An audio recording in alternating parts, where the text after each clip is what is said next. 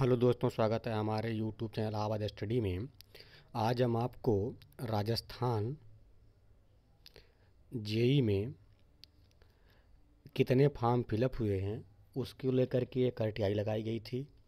RTI का जवाब आया है, उस आपको बताते हैं कि जूनियर इंजीनियर 2022 में कितने फॉर्म जो है कैटेगरी वाइज राजस्थान जेई में पड़े हुए हैं।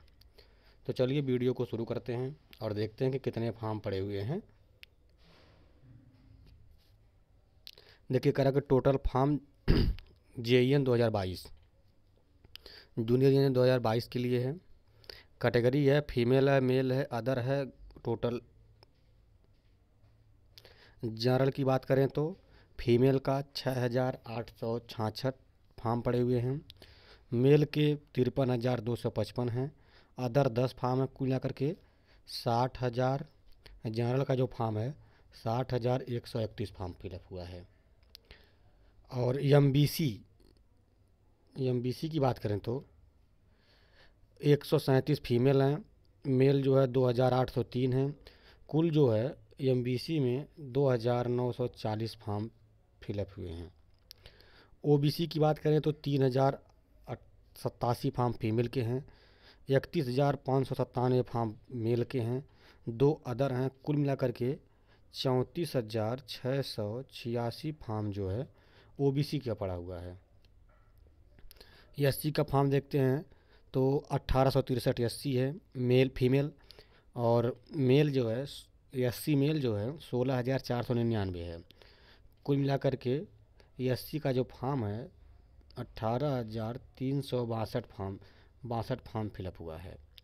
एस की बात करें तो सत्रह सौ छप्पन गर्ल्स हैं, फीमेल हैं सत्रह हज़ार नौ सौ चौवालीस मेल हैं, तीन अदर हैं। कुल मिलाकर के एस का फॉर्म जो है, उन्नीस हज़ार सात सौ तीन फॉर्म पड़ा हुआ है, भरा गया है।